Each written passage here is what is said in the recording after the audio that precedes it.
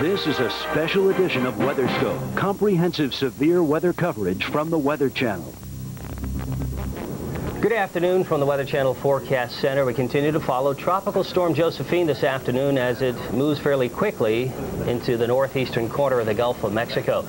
Alongside the Weather Channel's tropical specialist John Hope. And John, interesting system yesterday, not showing a lot of movement, a little bit erratic in its development, but now at least it appears things seem to be converging together to give us a, little bit more certainty now as to where it's headed, how fast it's going. Once it decided to move, it really took off, Declan. Now it's moving, as you know, over 20 miles an hour. It also did a lot of getting better organized overnight. In fact, early this morning, there's about a 10 millibar drop in lowest pressure, but fortunately, after that, it's kind of steadied off now.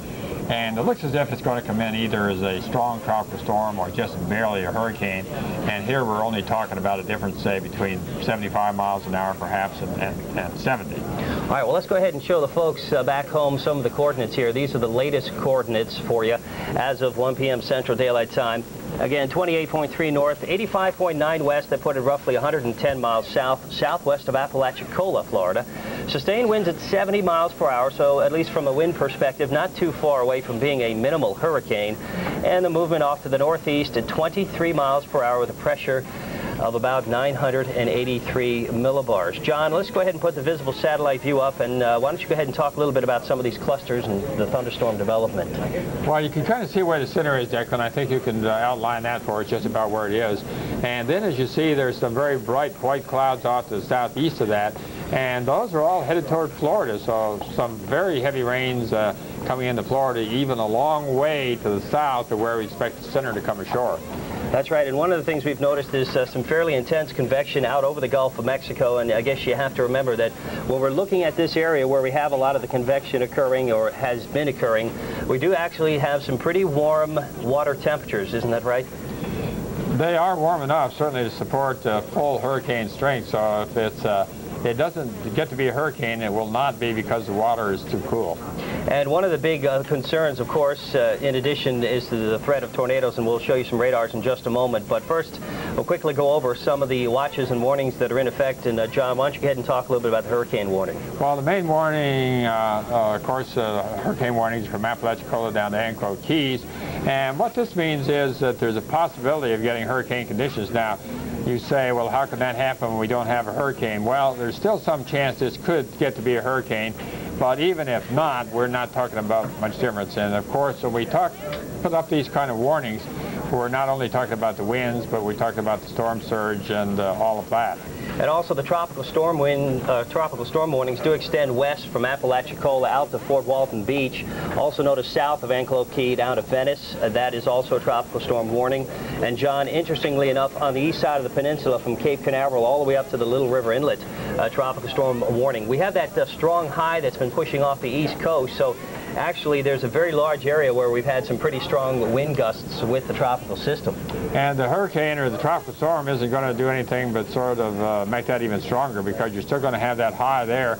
And what we have, Declan, uh, uh, the, what we call the pressure gradient, the difference in pressure between the center of the low and the high up there. And uh, when you have a strong pressure gradient, that's why the winds blow hard, and they're going to be blowing onshore as this hurricane uh, starts up the coast.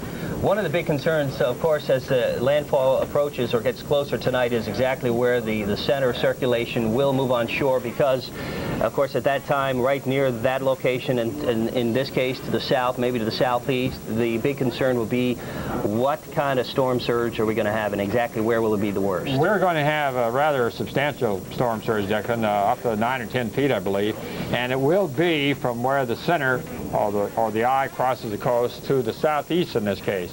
And Apalachee Bay, we should point out, is very vulnerable.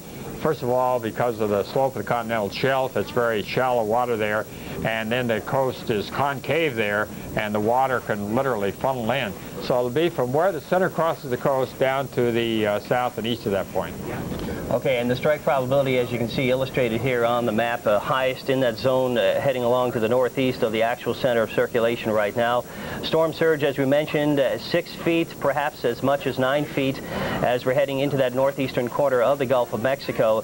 And of course, at the time of high tide, uh, that would be, uh, John, a worst case scenario, if I'm not mistaken, the coupling of the high tide's arrival and the storm surge. That's true, Declan. In this case, since it's where it is, it doesn't make quite as much difference because because there's not a big difference between the diurnal uh, high tide and the diurnal low tide up in the northeast Gulf, uh, uh, northeast Gulf, but it could make a difference of a foot or so. And lots of rain. John, one of the things that's happened this week in Florida is that we've seen a lot of uh, rain over the state, especially the northern part of the state. Uh, we have some scenes we can show you of some flooding that's taken place. Uh, parts of Florida already this week have picked up five to eight inches of rain. Uh, this is Clay County. Residents are wading through knee-deep water and cars are slowly making their way over flooded streets.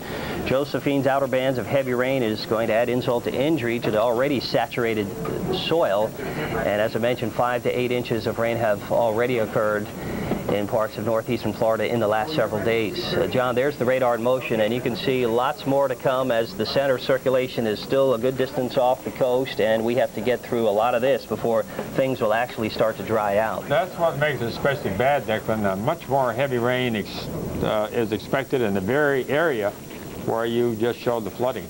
And of course, the, the threat uh, for some of these tornadic type thunderstorms. We've already had a report this morning of a possible tornado in Naples. In fact, about 12 blocks uh, experiencing some wind damage as a result of that possible tornado. Very unstable air over Florida, and you notice that that hurricane watch covers a bigger area than we normally see associated with a hurricane. It covers virtually the whole peninsula of Florida. And uh, what are your estimations as to after the landfall tonight and as the center of circulation moves farther and farther inland, uh, we'll still have to worry about the threat of tornadic thunderstorms. We will, and uh, but what we probably won't have to worry about after that point is uh, hurricane force winds anymore, because whether it's a hurricane or not at landfall, once the center gets over land, then it's going to weaken some. So we're talking off the east coast of the U.S., the southeast coast of a, a, tropical storm, not, not a hurricane, I think. Okay, thanks a lot, John. We'll continue to update you on the approach of tropical storm Josephine into the northeast corner of the Gulf of Mexico. Right now, we'll turn it over to the studio. Marshall Seese has a look at your forecast.